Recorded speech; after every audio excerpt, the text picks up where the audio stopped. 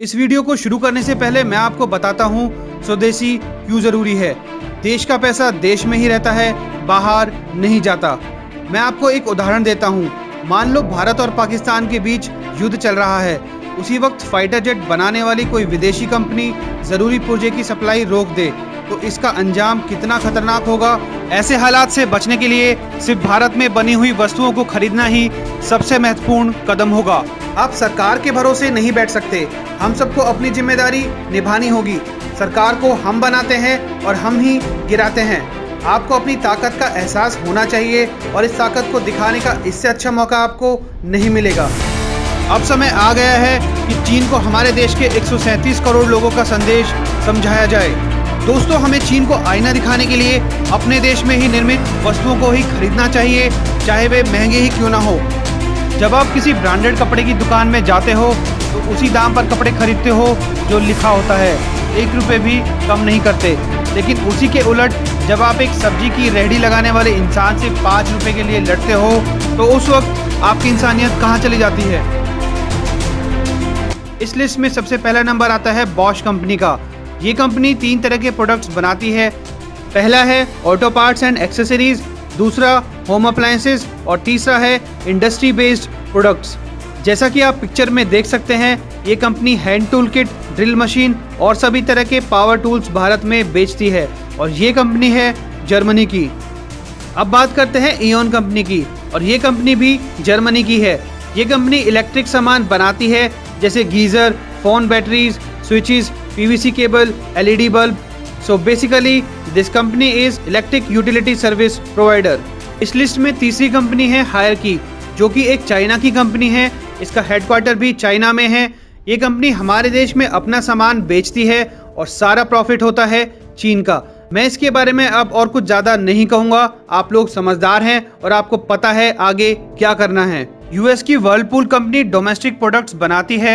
Washing machine fridge AC और microwave oven जैसे घरेलू प्रोडक्ट्स बनाती है।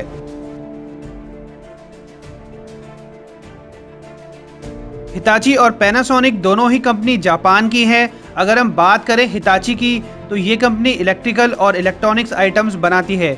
जैसे water supply pump MCB switch transformers electric motors inverter और पीएलसी जैसे तमाम प्रोडक्ट्स बनाती है। वहीं दूसरी तरफ़ पैनासोनिक ब्यूटी केयर से लेकर मोबाइल फोन्स होम अप्लायंस जैसे सभी प्रोडक्ट्स बनाता है।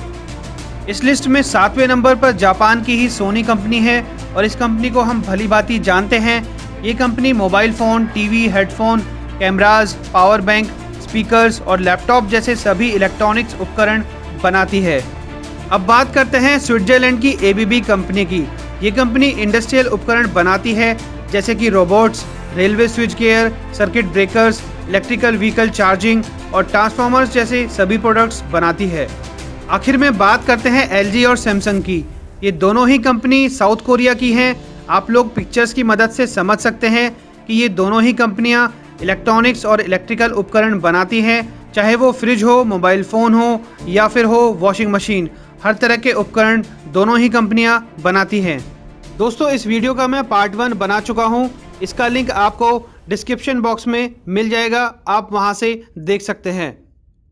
अब बात शुरू करते हैं भारतीय कंपनियों की।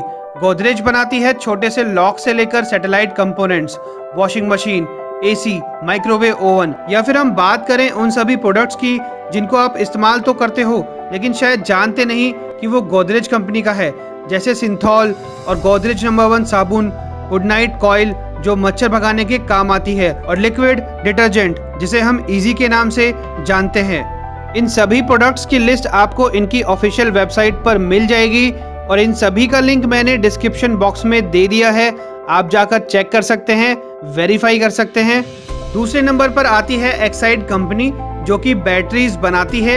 यहाँ इस्तेमाल के हिसाब से बैटरी आपको मिल जाएगी, जैसे कि automotive industrial inverter home UPS solar e rickshaw और सबमरीन बैटरीज इसके बाद नंबर आता है ओनिडा कंपनी का, जो सिर्फ़ चार कैटेगरी के सामान बनाता है टीवी वॉशिंग मशीन एसी और माइक्रोवेव ओवन। टीवीएस इलेक्ट्रॉनिक्स बनाती है इलेक्ट्रॉनिक्स डिवाइसेस जैसे कि e cash register barcode scanner keyboard dot matrix printer cash counter and detector यार वोल्टास की तो मैं क्या ही बात करूँ? टाटा की स्पेशलिटी एसी में है। मुझे ज़्यादा कुछ कहने की ज़रूरत नहीं है। डिस्क्रिप्शन में लिंक दिया हुआ है। Window AC split AC inverter AC जो चाहे खरीद लो यार बस। बजाज इलेक्ट्रिकल्स बनाता है शानदार इलेक्ट्रिकल उपकरण, जैसे कि steam iron, room heater, water heater, juicer mixer grinder, coffee maker, electrical kettle, पंखे, एसी और लाइटिंग। तो यार अब बात करते हैं इंटेक्स की। कंपनी बनाती है LED TV, speakers, home appliances mobile, personal care application, headphone, keyboard, mouse और यूपीएस जैसी तमाम चीज़ें बनाती है। इसके बाद नंबर आता है ओरिएंट इलेक्ट्रिक का। ये भारतीय कंपनी चार तरह के प्रोडक्ट बनाती है, जैसे कि पंखे लाइटिंग स्विच गियर और सभी तरह के होम अप्लायंसेस अब बात करते हैं भारत इलेक्ट्रॉनिक्स लिमिटेड की। इस मैन्युफैक्चरिंग कंपनी को भारत सरकार चलाती है। ये कंपनी डिफेंस और नॉन डिफेंस दोनों तरह के उपकरण बनाती है। अगर हम डिफेंस की बात करें तो ये company radar electronic warfare system tank और सिमुलेटर जैसे उपकरण बनाती है। अगर हम बात करें नॉन डिफेंस की तो ये company CCTV surveillance system cellphone jammer X-ray baggage inspection system जैसे तमाम ज़रूरी उपकरण बनाती है। आखिर में बात करते हैं हेवल्स की तो ये कंपनी पंखे lighting switch water heater pump personal grooming devices solar panels air cooler और वाटर प्योरीफायर जैसी ज़रूरत की चीज़ें बनाता है।